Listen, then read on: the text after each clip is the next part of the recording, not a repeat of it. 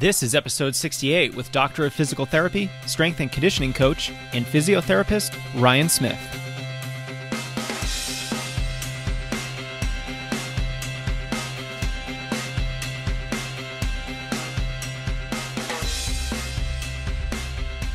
Hey, all, welcome back to the Strength Running Podcast. I'm your host, Jason Fitzgerald, and it seems like I have been away for a while. I have actually been on a, a quick vacation uh, at the very end of August, so I'm excited to be back. I went to visit some family and friends on Cape Cod in Massachusetts. Now, I'm not sure when you bring three children across two time zones if that counts as a vacation but I'm gonna say yes. It was it was a lot of fun. Uh, I didn't get a lot of sleep, but nevertheless, uh, I got in some good runs and was staying with a friend of mine who's uh, a much more competitive runner than I ever was, and it was great to train with him a little bit like we used to do back in the good old days. But now I am excited to be back. I did film some great beach running shots, and I'll be putting together uh, a Q&A on beach running really soon. And so you can look for that on Strength Running's YouTube channel, and uh, you can go ahead and subscribe if you want to know exactly when it is first published. All right, um, before we move on to our discussion today, a big thanks to SteadyMD for sponsoring today's episode. SteadyMD pairs you with a primary care doctor online a doctor who really gets to know you, listens to you, and ha- actually has the time for you. And it's not really any doctor. It's a doctor who is a fellow runner and who really understands everything from marathon training, proper running form, common running injuries, nutrition, and a lot more. So they're available to you uh, over the phone, text, video chat, really anytime. And if you go to steadymd.com slash strengthrunning, you can learn more and reserve your spot. There are a limited number of spots available, so I wouldn't wait too long just to see what they're all about. You can go to steadymd.com slash strengthrunning for more. All right, today on the program is Ryan Smith. He's a physiotherapist with a doctor of physical therapy, CrossFit coach, and a lead instructor for the Institute of Clinical Excellence in the fitness athlete division. He specializes in treating individuals who participate in CrossFit, Olympic lifting, powerlifting, and other sports like running. He's a former soccer player and a wrestler, and he believes strongly in strength training throughout your lifetime and is also an avid supporter of the Senior Rehab Project. And in this conversation, we're going to focus on movement knowledge, pain, common physical problems he sees among runners, and a lot more. I should note that this interview is just an excerpt of our full conversation, which was made available earlier to Team Strength Running members. This is Strength Running's popular group coaching program, and if you'd like to learn more, you can go ahead and sign up at strengthrunning.com/tsr. Without further delay, please enjoy my conversation with Ryan Smith. Hey, Ryan, thank you for speaking with me today. Hey, Jason, thanks for having me on. So, I'm looking forward to this. I think this is going to be interesting uh, because you are a physiotherapist, and we're going to talk all kinds of uh, all kinds of issues about uh, injuries and staying healthy and pain and all kinds of great stuff. But I want to start with uh, the difference between a physical therapist and a physiotherapist. Is there a difference? Because I've seen both terms out there, and at this point, I'm almost embarrassed to ask. I don't even know. no, uh, no, it's a common question. Physiotherapist is generally used in the rest of the world. It's only in the U.S. that we use physical therapists. So, in the same way, football around the world means soccer to us, and soccer is football, and here in America it's very similar. But you, most people use physical therapist and physiotherapist um, interchangeably here in the states. Um, I'd say traditionally, most of the public knows physical therapist better than a physiotherapist. Wow, I learned something today. and I feel like we are like behind the rest of the world, like with the metric system. We should probably just all get on board with physiotherapist. Oh no, and physio, it just sounds so much better. It's got a ring to it. It just it rolls off the tongue better. I, hopefully at some point we all switch over. yeah, I agree. I think it's a better term. I think it, it yes. lends more. I, I think it's more of a professional term for your for your profession. Hundred percent agree. Yeah, yeah. All right. So you see a lot of dysfunctional athletes, and we're talking to a group of runners today. So um, let's talk about that group. I mean, these are folks with injuries, imbalances, uh, different types of weaknesses.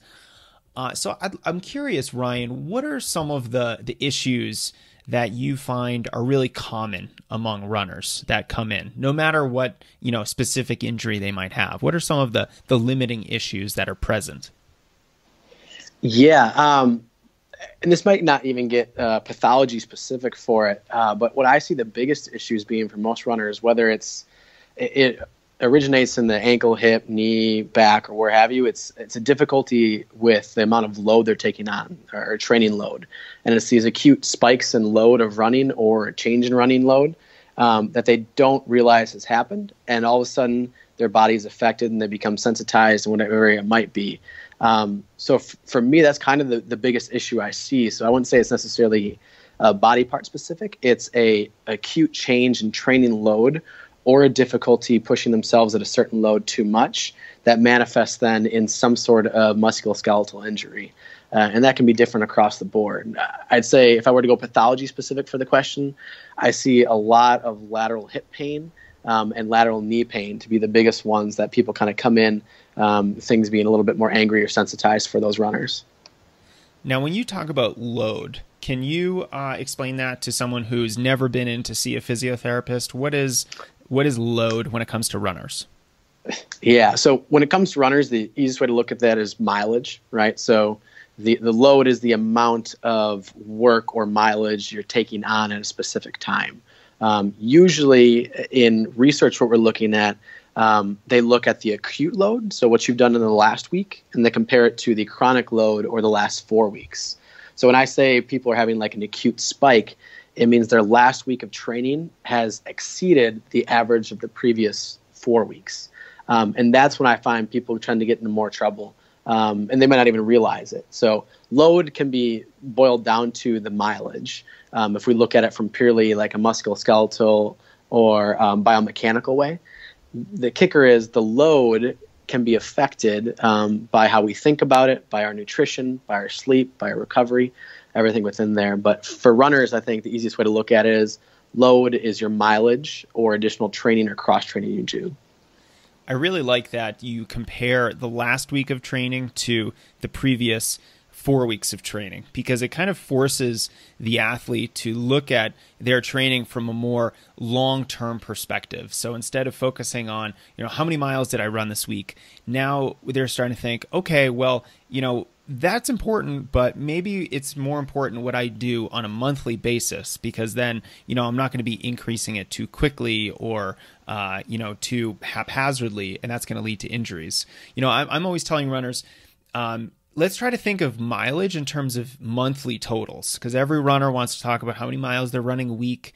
Um, but when you can think a little bit more long term and bigger chunks of time, I think that kind of a mindset really lends itself well to keeping runners healthier for longer periods of, of time because they're not going to be jacking up their mileage uh, too quickly from month to month. It's, it's more of a uh, it's a more difficult thing to do when you're talking about those you know longer time scales. And so I think that's a uh, a really helpful thing that you're helping runners to see by talking about you know the juxtaposition of their previous week of training and then what they were doing for the month beforehand.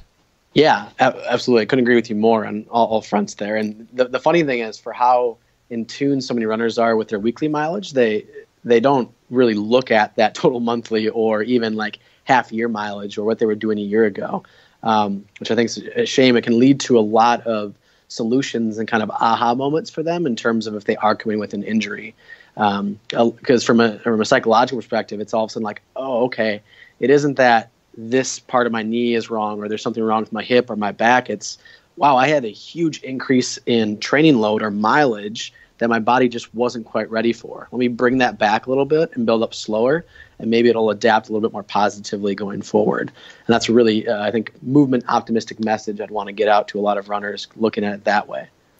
Right, right. And, uh, you know, the other thing that I want to emphasize here is that, you know, you mentioned a lot of runners, they'll come in and, you know, they'll talk about their knee problem or their hip problem. And, it's not really like there's an issue with the the knee itself or there's a problem with how the knee operates or moves. It's a training issue. And I think, you know, as a running coach, I'm the one responsible for that training. And, you know, I, I always tell runners, you know, strength training is probably one of the most valuable things you can do from an injury prevention perspective, but no amount of strength training is going to make up for really poor training habits. And I think that's exactly what we're talking about right now is poor training habits, jacking your mileage up too quickly and, you know, increasing that load so that your body's just hasn't adapted quickly enough and can't handle it. And so I think it's it's important for runners to recognize that the training is the most important injury prevention tactic that they have in their toolbox. It's proper progression of mileage, proper progression of pace and intensity, and you know not biting off more than you can you can chew. I think my uh, my college cross country coach always told us to avoid the three twos: too much mileage, too soon before you're ready for it at too fast a pace. And if you can mm. internalize mm. that, I just love that that three twos framework. Yeah, no, that I'm probably going to steal that from you at some point. that yours. sounds fantastic. Yeah, appreciate that. Yeah, it, I think it takes a lot of humility to recognize those three twos as well, and for some people to be like, you know, I'm not quite ready for that, and that's a lot of conversations I'll have too of what do you need to be ready for and what does that time frame look like? And for a lot of us it's very humbling especially for me who is slowly getting into more running of like you know I'm not quite ready for that exact race yet or this or that. Let me build it up because there's no reason for me to go into it as hard as I need to that quickly or too much or too fast or before I'm too ready yeah, patience I think is is such an undervalued trait among distance runners, and that if you can simply be a more patient, more cautious runner, then I think you're going to be uh, a healthier runner in the long term. Now, Ryan, I want to ask you really quickly about uh, you were talking a lot about load, and I think you know when I learned more about exercise science, and you know we talk about this issue as running coaches, we we also use the term workload, and workload really refers to the total amount of work that you do in a given week. And I think mileage is the first thing that runners think about when they think about, okay, how much work did I do last week uh, or last month for that matter? But you know, the other kind of flip side to this coin is the intensity side of things. It's not just the volume; it's you know how how fast you're doing it, what kind of paces you're using. How do you talk to runners about uh, their pace, how fast they're running, how that can contribute to injuries from this perspective of, you know, load and not increasing that too quickly. Yeah, absolutely. Um, I think that workload, I'd also look at you, you can have a quantity definition of just the pure mileage you've done. You can also have the quality of that, both in you know how efficient is your technique, but also at what speeds um, and what cadence and stuff are you going at, and that can change a lot of how the load goes through the body. Um, so looking at from a quality perspective of, for me, the the one thing that I can almost tell most runners from an injury prevention or at least a reduction in risk of injury is that an increased cadence for most people by somewhere between 5 to 10% is probably a good thing unless you're already at an extremely high cadence. So, for especially for a lot of my novice runners that come in, I, I look at that first um, because the research amongst everything they've tried to look at for running mileage, they've shown that a slight increase in cadence generally disperses a lot more that force going through the body, and generally we see a decrease in risk of uh, reduction of injury. Um, so that's from that standpoint, that's why I look at the quality. In addition, and the more I've learned from the running world is that uh, I feel like a lot of coaches have taught me go fast in your fast days and slow on your slow days and really, I think a lot of coaches, and runners are starting to show their history of running uh, and their workload, and showing I have been going really slow and staying true to that on the days I need to go slow, and that's the majority of their mileage. Um, I think the, my favorite part is that when as I start to get more into it, I realize as a novice runner, it's very very difficult to separate the slow days from the fast days without realizing it. I think that's made me a little more empathetic to the conversation I have with runners coming in of, you know, what do your fast days look like and what does that load like on your body? And what do your slow days look like and how do you feel after those?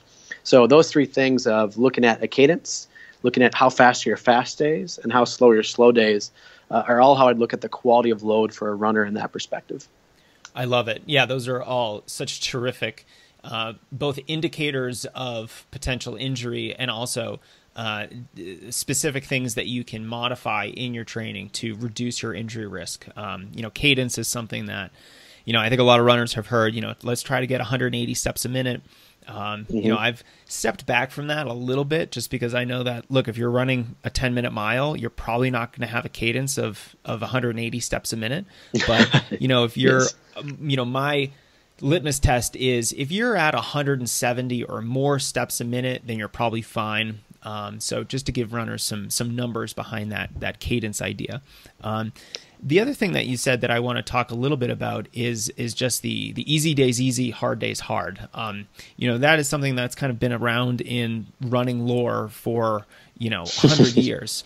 But you're right; it is so hard to actually execute on on a day-to-day basis especially you know when so many runners are these type a athletes who who think you know the harder i go the better i'm going to get. And of course there's a shred of truth to that. You just have to be strategic with it. Um, and i and i think if runners can simply go slower on their easy days and really make sure that the overall effort is is just super easy like if they finish that run and go man that was easy then you're doing the right thing. That was perfect. That was that's the effort that you're looking for. Um, now, what what I liked about your answer is that you actually talked about some solutions. You talked about improving your cadence. You talked about going easy on your easy days. Uh, you talked about focusing your effort on those hard days. Um, you know, we talked some about you know some of the big common dysfunctions that runners tend to have. Um, and, and a lot of that is training related. Besides some of the suggestions you had, you know, how can runners go about resolving some of those issues so that they can reduce their overall injury risk? Yeah, absolutely. And it might be obvious because we're on a strength running um, talk right now, but strength training is hands down probably one of the best ways they can do that. In the sense of uh, a good foundational strength training um, can give your body more capacity to allow you to train at the level you want to or train more. And I like to make that distinction for runners because I always want to say, you know, the strength training won't necessarily make you a better runner, but it will give your body the resiliency and capacity to allow you to run more. And ultimately, the more you run, in general, the better runner you become. And I think that's that's what strength training is going for. Um, so, regardless of the pathology of where it's at in the body, looking at this from can you move relatively well with body weight? Can you do I was my favorite one for runners. Can you do 20 single leg calf raises and not burn out and get full range of motion? Can you do um, a, a, a, single leg squat with some sort of capacity to find balance and maintain quality positions? Can you master those first? And if you can, perfect. Well, now we know that running demands more in the body of at least one to one and a half times the body weight for each step. So can you single leg squats or lunge with some amount of weight? Doesn't need to be a ton, but dumbbells, kettlebells. Um, can you hold on to that and help? And can your body sustain that? Um, so I think doing those things will help with a lot of the nagging aches and pains that most runners have because very rarely is it an acute injury. It's a chronic, long term, kind of comes back and flares up here and there and that's just the body kind of going through of i don't know if i have the capacity right now to maintain this amount of load. Um, what are we going to do to change that? And building that capacity up and that resiliency up in the tissues and the body can start with strength training and moving a little bit better to feel a little bit better. There's a strength and conditioning coach up here in boulder colorado that uh, you know he had a line that i don't think i'm ever going to forget. He said there are no weak fast runners. And i think that's such a great way of of talking about the fact that runners have to be strong to be good. And so if you are good, if you are fast, if you post competitive times, then you do have a, a high level of strength. And so uh, I think if, if you get into the weight room and you can't do some of those things that you mentioned, Ryan, like calf raises and, and pistol squats, then you know you're not a you're not going to be able to perform as well as you probably could if you were stronger but you know it also means that you're going to have a higher injury risk. I think it's interesting that running is often considered kind of an easy sport uh, but it's an impact sport. It absolutely is an impact sport. It's you versus the ground and those impact forces can be uh, you know many multiples of your body weight like you mentioned. And you know i think it's crazy when you know runners can barely do some very simple body weight exercises, but then they expect to be able to run 40 miles in a week without injury. and, you know, you're just kind of blown away by, by the, the audacity of the thinking. I'm really interested in the topic of pain science. Uh, I'm not mm-hmm. too familiar with it, but maybe you can give us a bird's eye view of you know what this particular subject is really about and, and how runners might benefit from knowing more about it Yeah, for sure. Um, pain is really a hot topic in physiotherapy right now. Um, and do so, and it's changing a lot of the mindset we know and the research we've seen. So, I think the big points I'd love for runners to know is that pain does not equal damage, and damage does not equal pain, right? So, if you do have knee or hip or ankle or back pain, that does not mean that you're having damage in that tissue specifically. Um, and we know that pretty unequivocally now based on a whole bunch of different studies ranging from years and years of data, which is really, really cool. Now, actually understanding that and taking that to consideration is really, really hard because when you have pain, most of us think of the worst of like, oh, what's going wrong in my knee? What's going wrong with the hip? Um, when in reality, it's it's more about sensitivity um, to the specific muscle loading and to the tissue capacity of what's going on. So want to make sure that that point is, is really clear to runners that pain does not equal damage and damage does not equal pain. Um, getting that across. Generally, what we're finding is that pain is an experience, and it's it's very significant to a lot of people um, because it, it, takes in our emotional aspects and takes into our our history of injury, what our beliefs are about pain. Um, and, and, we really need to consider the person as a whole when talking about those types of things um, because we can't just say you have knee pain this is what's going on with the knee. Once we fix that part in the knee you're going to feel better. We know that it's complicated. We know that there has to do with sleep and recovery nutrition all these aspects play a role. And if you have ongoing pain that's been lasting for a while we know that that the same way we talked about those neuron um, or, or firing patterns right? Pain can latch on to certain movements and can become uh, more like a fire wet fired together wired together type of mantra more effectively. And that's not necessarily a good thing because pain can cause us either to adapt in a good way or in a bad way. And maybe the easiest way to understand that for runners is the ankle sprain analogy, right? We have an ankle sprain that's acute injury. There's a clear mechanism of injury that causes some sort of damage to that tissues. So we'd expect to have some pain. But for some people, that pain can be really, really high or really, really low based on their previous experience. Now, regardless of their experience, the body's going to want to take some time and may limp a little bit and have some swelling. But after time, as things begin to heal, especially for ligaments, we know that's you know four to eight weeks on average. We can generalize that the body stops limping a little bit and starts testing those ranges of motion. And slowly over time, it starts getting that back. And we start testing it out more, and it improves. Now, sometimes people get eh, that limp right? If it lasts for a long period of time, is actually a poor adaptation to the pain instead of a good one. Eventually, everything will heal. We should get better, and we should stop limping and start getting back to activity. We know for a large or for a certain percentage of people that that's not the case all the time, and that limp can sometimes hang around regardless of the healing rate of what's going on. So I like to say to people, okay, in short term, the limping and the pain is a really, really good thing because it protects the stuff that's going on. But in the long term, a year later, I don't expect that to be happening. And for I think a lot of runners, they have that kind of cycle of pain coming back and forth, almost like they're chronically spraining their ankle all the time, even though there may not be any damage at all. Um, so that, that's one analogy I like to get across to runners a lot in that aspect of this is kind of what we're starting to see with pain. It's a very, very all encompassing thing. It isn't one part of the tissue, and pain does not equal damage. Um, and I try to make that analogous as possible to their training and their life as possible. Uh, but it works out best when we take that within the context of your life and how pain affects you in certain ways.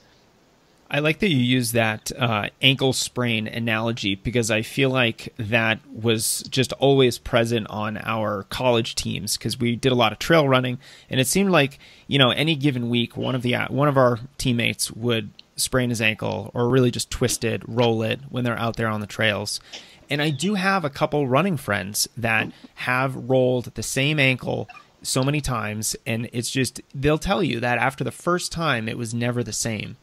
And this is super common among runners who have ankle issues, who, who tend to roll their ankles. And so I want to ask you specifically about that issue. What is going on with a runner who's turned their ankles a couple times, but it's three years later and their ankle either still hurts or just doesn't function the way that it's supposed to?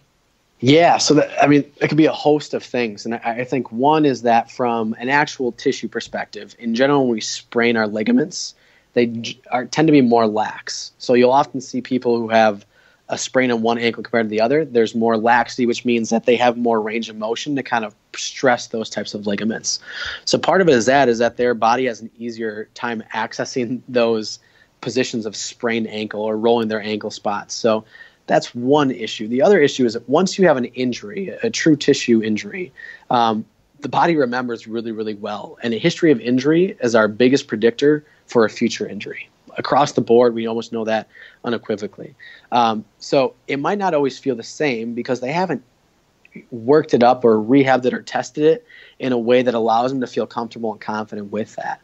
Right? How many runners probably sprain their ankle and then just kind of walk it off a little bit, test it, and then just go back to running without ever thinking, okay, maybe I should test my single leg calf raise on this side, or maybe I should work on you know stressing those ligaments and those muscles and those bones in a different way to make sure that my ankle is adapting the way I want it to to be strong again.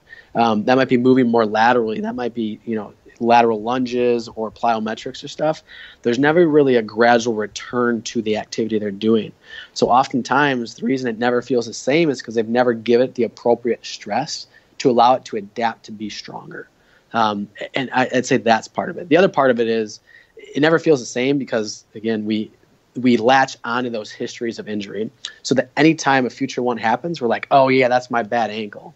So now all of a sudden we give it a, a very personified position in our training life of that that ankle is always going to be that bad one or always the one that doesn't feel right. Instead of really taking it um, head on and being like okay how can i make this feel better? What are the ways can i move differently to stress it appropriately so i know i feel confident in it? Um, i'd say a whole host of those reasons are why it kind of feels slightly different.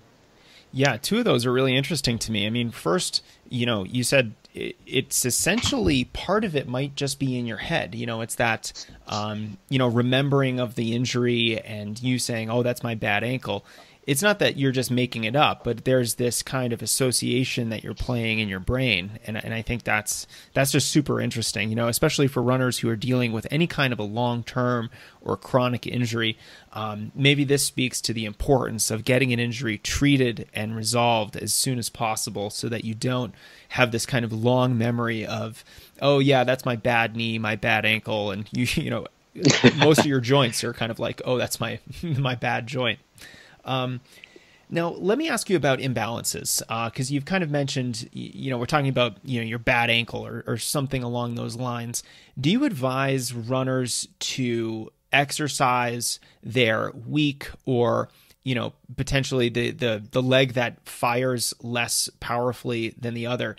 Do you suggest doing more exercises on that leg, or is that just going to cause other problems too? I wouldn't say they need to do more on that specific side by any means. Uh, we do know when you work out one side of the body, in general, there's some sort of neurological, um, like sweeping over to the other side of the body. So you're getting some benefit both ways, regardless. I would say that most runners just don't train enough unilaterally. And that by I mean, you know, single leg stances, split stances, even their upper body does not get trained unilaterally in a sporting demand, which is running, which demands unilateral movement. Um, so I wouldn't say they need to increase any more on one specific side. I would just say they need to do more training that is unilateral, that isn't running specific. Um, in terms of imbalances, unless it gets to a certain degree, we know that there's some sort of asymmetry and imbalance among most of us. Kind of like you mentioned the Usain and Bolt uh, example of how much time he spent on one um, leg versus the other. So I think that's ultimately going to be the case for everybody, some sort of asymmetry, but we usually don't see it significant until it's to a certain degree, and that's that's variable. We know people coming back from ACL that uh, we like to measure the quad index, which is kind of a quad strength measurement of sorts. That those have to be somewhat similar before we feel like we have the best return to play criteria. I'd say anecdotally, if I see a major difference in someone's single leg calf raise right to left, I know there's probably going to be some biomechanical difference on their running ability in terms of where load's getting spread, and that one side might be taking on more than the other. Um, and that could give me a clue of why certain things are taking on more um, than others, which could potentially have higher risk of injury um, for them if they're racking up enough mileage. So I would say don't chase the imbalances to look for perfection, but just train more unilaterally, and you'll probably address a lot of the issues that most people see with asymmetries and imbalances. Great. I love that advice. Um, now, in, in, in, the interest of training unilaterally, um, what are some of your favorite single leg exercises for runners. Uh, now, you did actually um, mention some of your favorites for an article on the Strength Running blog. Uh, anyone listening, it's is body weight strength training enough for runners? And, you know, you mentioned single leg deadlifts, single leg squats, um, lunges, and different plyometrics. Is there anything else you think that are uh, valuable exercises that every runner should be incorporating into their training? Those are the big ones, I think, bang for your buck. But I, I will say a, a lot of uh, what I'd call almost like aesthetically pleasing dynamic running or dynamic drills of like we do a lot here for our CrossFit members who are getting into running of just walking on their tiptoes, um, both with knees straight and knees bent, or doing little hops and pauses and holds in different positions along those lines. Um, I, I, guess the simplest way for anybody listening to this to go look to experiment in those ways. I know Chris Johnson, I believe is Zeren PT, Z E R E N PT, has an Instagram that does a ton of single leg work in terms of making things look good in a dynamic warm up that stresses runners in a specific way. Um, so, besides those strength training movements you mentioned that are in the article on the website, I think uh, his Instagram would be a really easy way to see a bunch of different really cool single leg stuff um, that can help you in terms of a dynamic warm up um, instead of me trying to list off a bunch of different things. But I'd say that would be the biggest ones that he likes to highlight are these lunge complexes and these squat complexes that get people onto their toes in different ways and that are walking in different ways and loading. Um, I think it's a really great resource that he offers um, from there, in addition to the the article that you that you mentioned that you have at the website. Can you let me know that Instagram handle one more time? Yes, I believe it, it's Chris Johnson is his name, and it's Zeren PT, Z E R E N P T. Okay. Well, I will find him and link that up in the description here because I think that uh, that's really interesting. Uh, all right, Ryan. Before we wrap up, I have a question from one of our community members, and it was actually echoed by a couple other folks, um, and it's about having a, a clicky hip or knee. Uh, I'm actually someone who, you know, I have a history of IT band syndrome in my left leg, and my left leg constantly clicks right at the kind of IT band insertion at the knee. And so Jen submitted a question, and for background, she said, I have a clicky right hip. There's no pain when it clicks, but it always makes this clicky sound during abduction. Not surprisingly, when I do wind up with pain or niggles, it's often in the area of my right hip.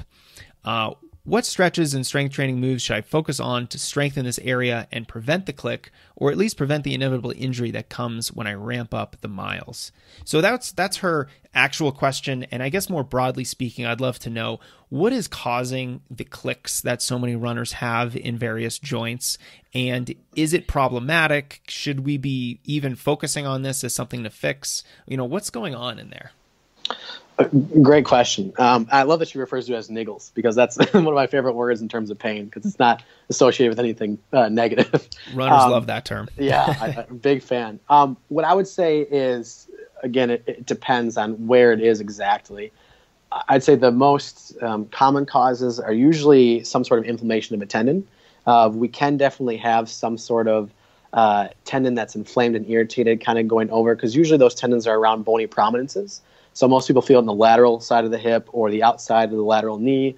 Um, or kind of at the inside of the hip, all of which have bony areas that, if something's kind of going across it, has the potential to have some sort of what I'd call a mechanical snapping um, type of sensation.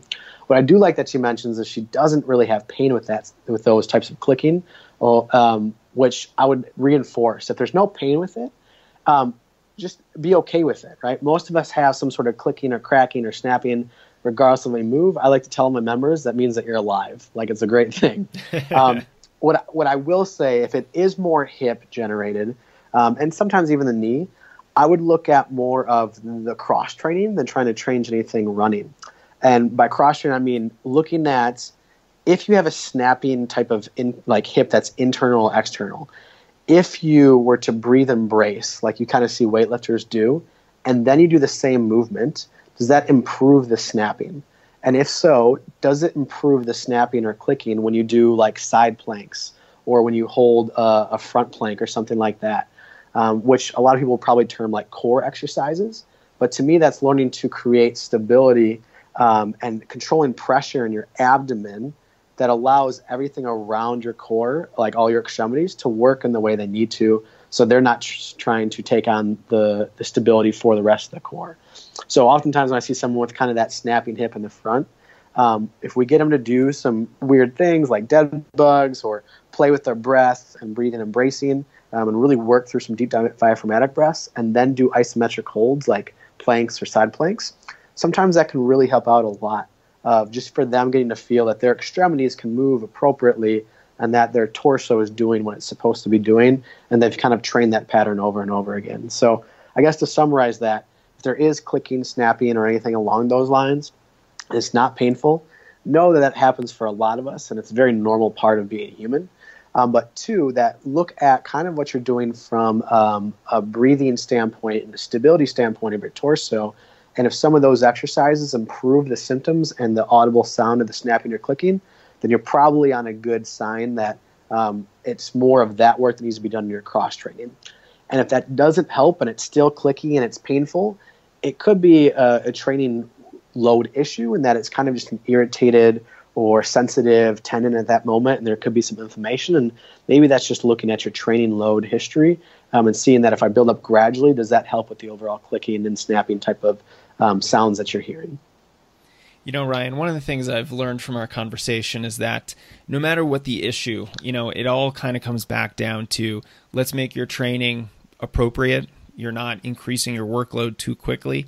And then on top of that, we are going to build in strength movements for strength and proper movement education, and then also drills and different varied exercises to really get through varied uh, ranges of motion and movement patterns. And all of that is going to make us a stronger, more athletic runner. And that's what helps prevent injuries. I think I just summarized our 45 minute uh, conversation here. A hundred percent agree, and I, I, think the even underlying point of that is that if you, if you come to me and you're injured or in pain with running, my very last resort is to ever have you stop running. There's very few things you would ever tell me to be like, you need to stop. you need to train differently and load yourself appropriately in weird ways sometimes. Um, and I think that's what runners get scared of if they go to a physiotherapist or any other healthcare professional, is that they'll tell you to stop. And most of us that are starting to see the research and data and knowing how much running means to a lot of people is that we're going to try to keep you running as best we can. Um, it might be at a different level than you're used to. It might be slower or faster than you're used to, but we'll keep you doing what you love to do as much as we possibly can and knowing that that's the best way to actually get you better too. I love it. Guys, that is the kind of physiotherapist that you should be looking for. Someone who's going to keep you out there on the road. Ryan, thanks so much for being here, taking the time. Appreciate your expertise and uh, all the different issues that we talked about today. I think this was super helpful. Thanks, Jason, for having me on. It was awesome. Great conversation. Hey, all, it's Jason. Thanks again for tuning into the show today. I hope you enjoyed my conversation with Ryan. We've been talking a lot about movement fluency, athleticism, strength, and how we are not just runners, we are athletes that specialize in running. This is the year of strength on strength running, and I hope you'll go back and check out some of our earlier blog posts, videos, and podcast episodes that have to do with strength training and more broadly, the athleticism that's required to not only perform really well, but stay healthy. And if you'd like this full interview with Ryan and to learn more about team strength running, you can get on the priority list at strengthrunning.com slash TSR to be the first to know when we open and how you can become a member. Finally, a big shout out one more time to Steady MD. Strength Running is an official partner of Steady MD, which is led by sub 3 marathoner Dr. Josh Emdur. The goal is to give you a personal doctor online that's just for runners to help you stay fit, healthy, injury free, and competitive. The best part, there's no copays, there's no waiting rooms or surprise bills. Instead, you'll get same day responses from a doctor who's actually there for you 24 7. And if you've ever seen a doctor or a physical therapist who has no experience with runners, then you know how valuable this is to hard charging athletes. Having a doctor who gets you and your running goals is priceless. Go to steadymd.com slash strengthrunning to see if there are spots left and how you can benefit from having a primary care physician who's also a runner. That's steadymd.com slash strengthrunning. Thanks again, everyone. I appreciate you being here. Until next time.